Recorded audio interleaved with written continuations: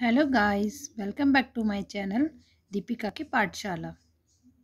आज हमारा विषय है श्रीमती प्रतिभा पाटिल पर एक अनुच्छेद, जो देश की पहली महिला राष्ट्रपति बनी थी। तो आइए इनके बारे में जानकारी लेते हैं। इसकी रूपरेखा इस प्रकार रहेगी।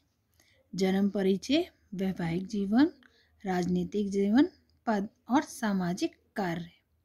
तो आइए, सबसे पहले हम उनका जन्म परिचय सुनते हैं। श्रीमती प्रतिभा देवी सिंह पाटिल का जन्म 19 दिसंबर 1914 को जलगांव में हुआ। इनके पिता श्री नारायण राव थे।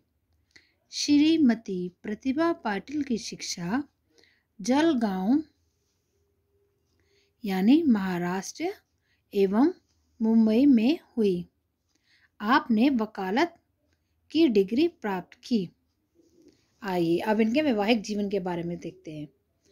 श्रीमती प्रतिभा पाटिल का विवाह 7 जुलाई 1965 को श्री देवी सिंह राणा सिंह शेखावत से हुआ। इनके दो बच्चे हैं। जिसमें एक पुत्र और एक पुत्री है। प्रतिभा जी, का राजनीतिक सफ़र 27 साल की उम्र में शुरू हुआ। श्रीमती प्रतिभा पाटिल पहली बार उन्नीस सौ बासठ में महाराष्ट्र विधानसभा के लिए चुनी गई थी। वह 1972 से 1978 तक महाराष्ट्र सरकार में कैबिनेट मंत्री भी रह चुकी हैं। वह राज्यसभा की उपसभापति भी रह चुकी हैं।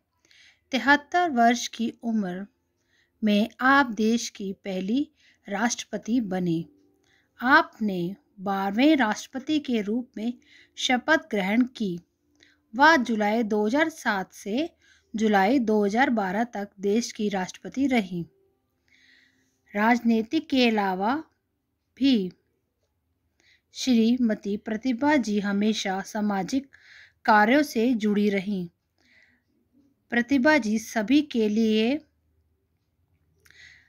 श्रीमती प्रतिभा पाटिल एक प्रेरणा है और ऐसी ऐसी महिला पर हमें गर्व होना चाहिए।